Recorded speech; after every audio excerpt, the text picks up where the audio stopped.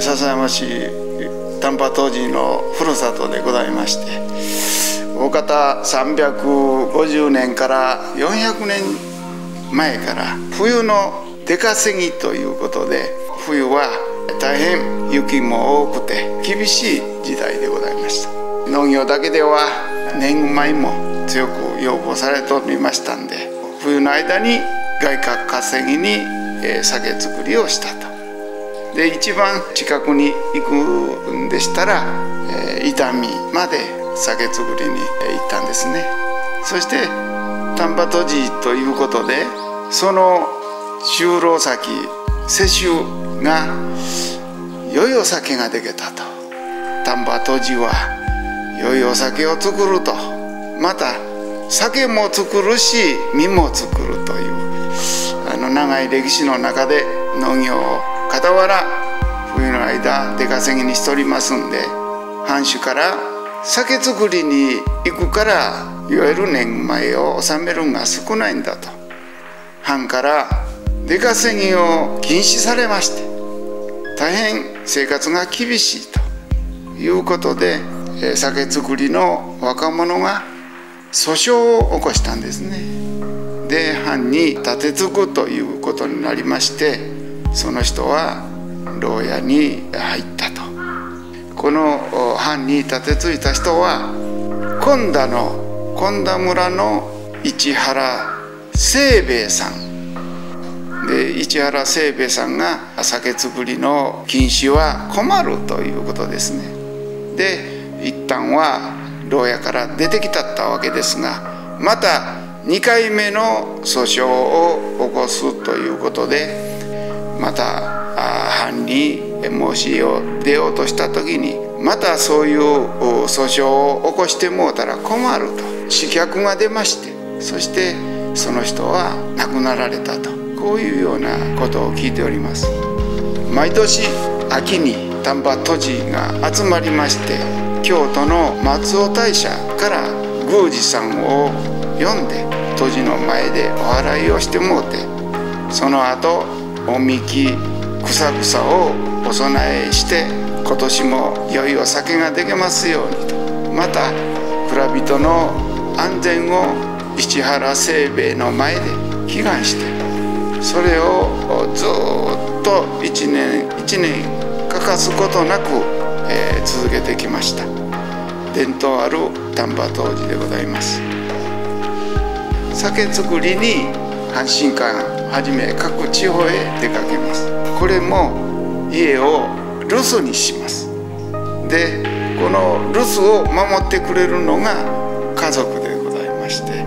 酒造りとなると厳しい仕事ということになりますんで家族の方も心配もしながら留守をしとるということと思います。これから酒造りに地方へ出ていくんや。阪神館へ出ていくという時にはその朝は大事な子でおみきを呼ばれてそして氏神さんに参って家の神棚にも参り冬の間留守にするからと元気でまた春には帰られるようにとか良い先ができるようにというような格好で出ていきますね。ああそうですね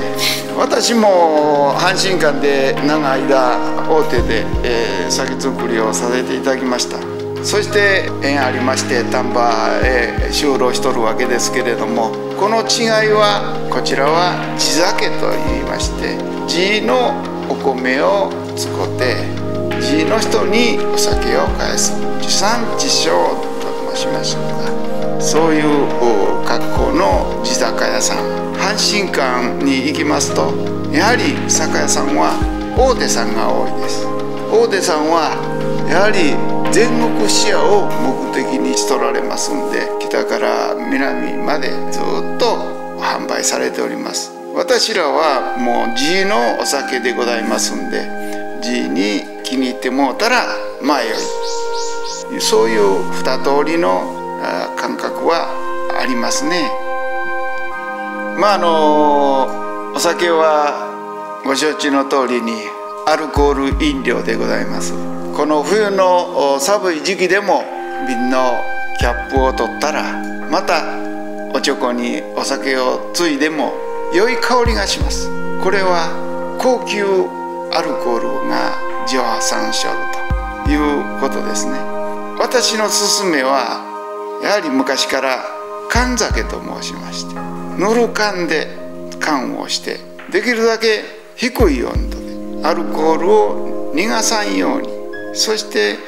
料理と一緒に呼ばれていただくのが一番ベストということになりますね。まあ若い衆でありますと上官でクイッとというような格好でまああの格好はいいんですけれども高いお酒をアルコールを飛ばしてそして飲むというような感覚になりますんで。でできるだけ缶をするなればぬる缶で料理と一緒にゆっくりとこう楽しみながら呼ばれていただくのがベストやね。それも。はい。今の丹波当時組合もね毎年真夏に講習会を会を重ねて117回の勉強会を行っております。今はもう若いお方また女性もしっかり講習会にね来られます。酒はもちろん国の国酒ですんで廃ることはございません。で将来有望な酒に関する仕事だと私は思いますけどね。はい。丹波当時も大変若い方が現代育っております。